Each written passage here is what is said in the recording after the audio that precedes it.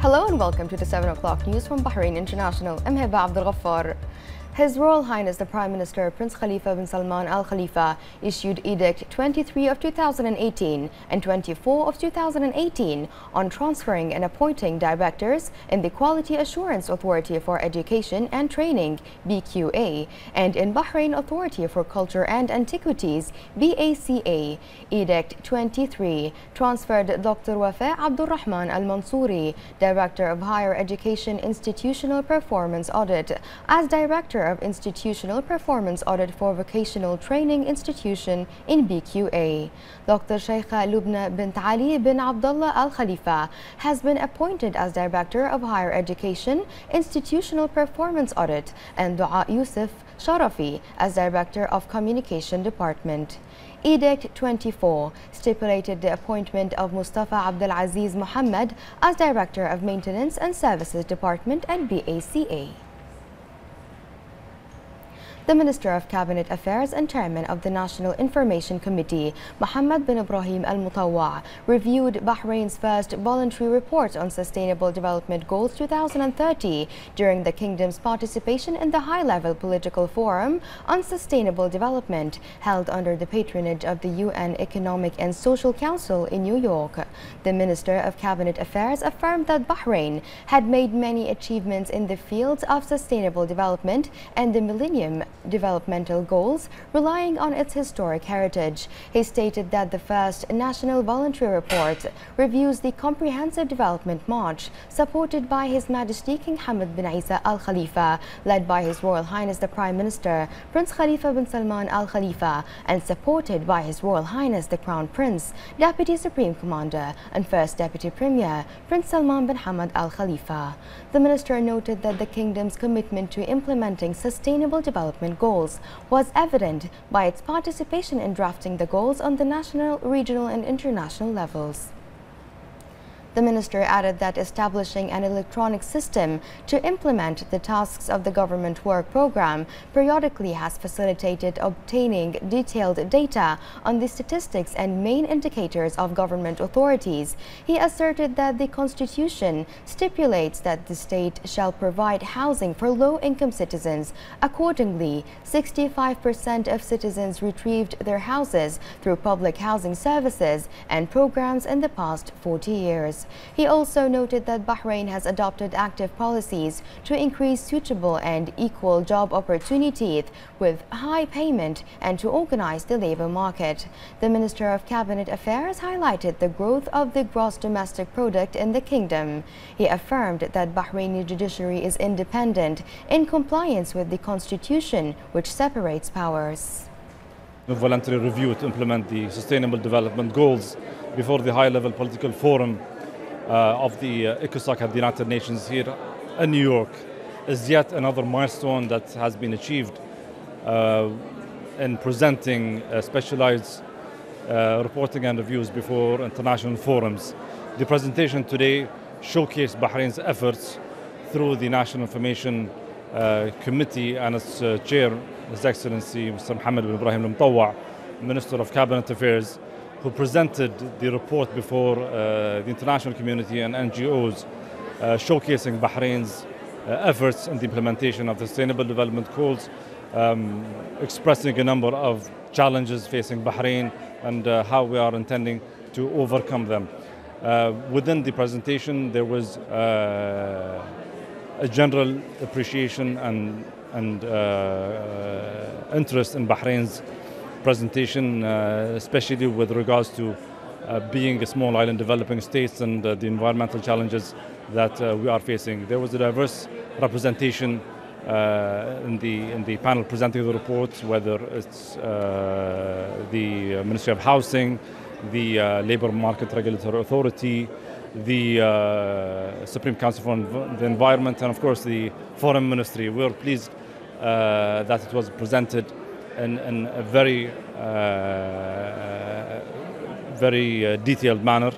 Uh, and we were very glad to see how it was comprehended and appreciated by the uh, attendees. First, I'd like to congratulate Bahrain for excellent voluntary national review. Uh, you know, because as a fellow small island developing state, we understand the challenges of uh, small islands in terms of sustainable development. And I think uh, you've done a great deal, you've done a, lot, especially in terms of empowering women. Because as the presenter said, there, since 1920, women have been inside the uh, parliament and, and been involved in society. So that's very significant and the efforts that uh, Bahrain has made in terms of empowering its people, trying to improve the lives of people in Bahrain, I think that's also very commendable. So we would really like to congratulate Bahrain. Uh, we in Singapore also doing the national review this time, so we can learn from each other to improve the lives of our people. We've just seen a very thorough and well-prepared report presented by Minister Mutawa. Uh, we know this too because our department uh, had a mission to Bahrain uh, to visit Bahrain and to, to review the early uh, preparations and help in the preparation of the report. Uh, we saw a great amount of detail on housing, a very thorough explanation of, of Bahrain's work in uh, housing for, for public housing, private sector involvement in housing, uh, infrastructure development, and also the attempt to position Bahrain as a, a platform and a leader in the region on sustainable development uh, and sustainable development issues in, in, in the Gulf region. So really I could say a thorough report, well prepared, uh, building on the strengths of Bahrain and also strongly looking to the future. Uh, interesting to see the link uh, between sustainable development in the report and the video that was shown and entrepreneurship, uh, uh, um, facilitating entrepreneurship both at the small scale and the large scale.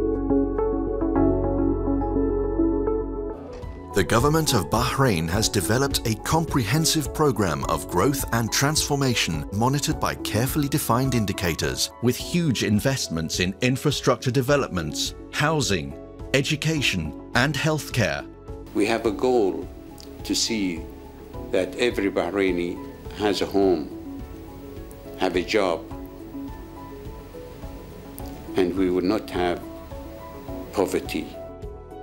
60 years ago, Bahrain's government responded to the challenge of a rapidly growing population with housing programs to accommodate the growing citizenry. The Ministry of Housing has signed an agreement with the UNDP to review Bahrain's housing strategy. The private sector has also developed targeted housing projects and given potential buyers access to adequate finance.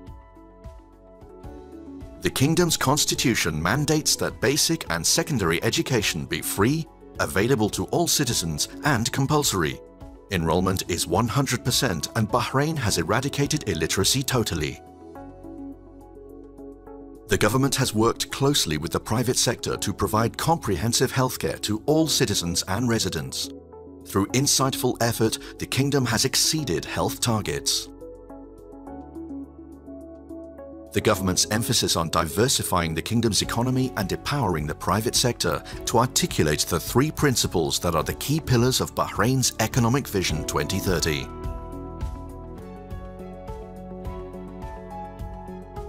Bahrain's government has been resoundingly successful in meeting the rising energy demands of the growing population. The electrical energy supply chain is clean, safe and virtually uninterrupted. Hand in hand with Bahrain's economic success, there has also been a sustained effort in investing in social development programs. The aim is to reduce the number of low-income citizens by at least 50% by 2030. On the sidelines of the Kingdom of Bahrain's participation in the high-level political forum on sustainable development, the Minister of Cabinet Affairs, Mohammed bin Ibrahim al-Mutawwa, met at the permanent mission of Bahrain of New York today with the UN Special Representative for International Migration, Louise Arbour. Also present was the CEO of the Labour Market Regulatory Authority and President of the National Committee for Combating Trafficking in Persons, Osama Al-Absi. Al-Mutawwa said that the Kingdom of Bahrain has a pioneering regional and international experience in the field of combating trafficking in persons based on laws that comply with international standards. He said that the recent status of the Kingdom of Bahrain and its selection as the first category in the U.S. State Department's classification of the most successful country in the fight against trafficking in persons as the first country in the Middle East and North Africa reflects Bahrain's great efforts in this field. During the meeting, Al Mutawa stressed that the government has put in place laws and regulations that protect the rights of workers and has continued its efforts to combat trafficking in persons based on justice and equality.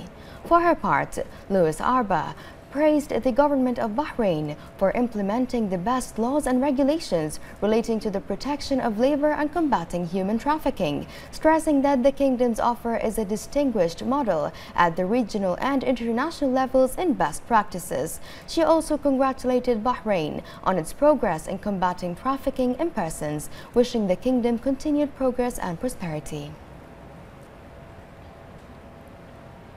The Minister of Cabinet Affairs, Mohammed Ibrahim Al Mutawa, attended the second discussion session titled Migration Governance in GCC Countries Towards Safe, Flexible and Sustainable Societies, held by the Labour Market Regulatory Authority, LMRA, in partnership with the Government of the Philippines and in cooperation with International Organization for Migration, IOM, and the Migrants Forum in Asia, as parts of the accompanying events of the UN Economic and Social Council's high-level political forum on sustainable development at the UN's headquarters in New York.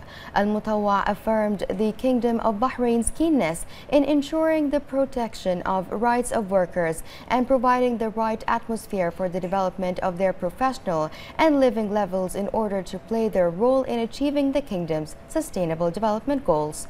He noted that expatriate workers in Bahrain receive care and respect in recognition of their efforts in the development march of the kingdom. CEO of the Labor Market Regulatory Authority and President of the National Committee for Combating Trafficking in Persons, Osama Al-Absi, affirmed that Bahrain has embarked on a comprehensive and systematic movement to reform the labor market, particularly the modernization and development of laws, regulations and procedures since 2004. It has conducted a comprehensive review and study of all regulations related to foreign labor issues such as the sponsorship system, labor protection and human trafficking regulations, resulting in more justice-based systems that have been applied in the Bahraini labor market over the past decade. Al-Absi noted that the discussion session highlighted the extent to which Bahrain has achieved in its development plans, the objectives of the International Charter for Sustainable Development and the International Covenant on Migration, especially in achieving gender equality, empowering women, promoting sustainable and comprehensive economic growth, and ensuring decent work for all.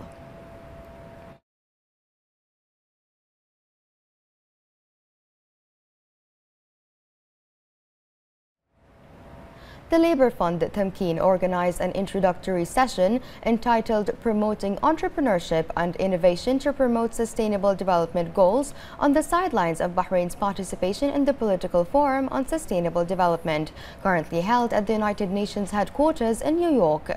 The event was attended by the Minister of Cabinet Affairs, Mohammed bin Ibrahim Al Mutawa. Al Mutawa underlined that the kingdom has many success stories in achieving the goals of sustainable development, which include include the Tamkeen Labour Fund's unique experience in caring for and qualifying national calibers to contribute to the development process in Bahrain. He also pointed out that investing in human resources is one of the top priorities in all government plans and action programs, noting the importance of shedding light on Tamkeen's experience in stimulating national calibers and supporting small and medium enterprises in a manner that contributes to the service of the national economy. Tamkeen Chief Executive Dr. Ibrahim Muhammad Janahi asserted that Bahraini experience promoting the values, principles, and objectives of sustainability is a top priority for the development initiatives launched by the Kingdom of Bahrain under the leadership of His Majesty King Hamad bin Isa Al Khalifa as part of the 2030 vision. Chief Investment and Marketing Officer Dr. Nasser Qaidi said that Tamkeen throughout 12 years of achievement has played a key role in supporting more than 170,000 institutions and persons. Tamkeen participation in this meeting come as part of the kingdom's efforts to affirm the importance of achieving sustainable development goals adopted by the United Nations in 2015 that contribute to the prosperity of nations.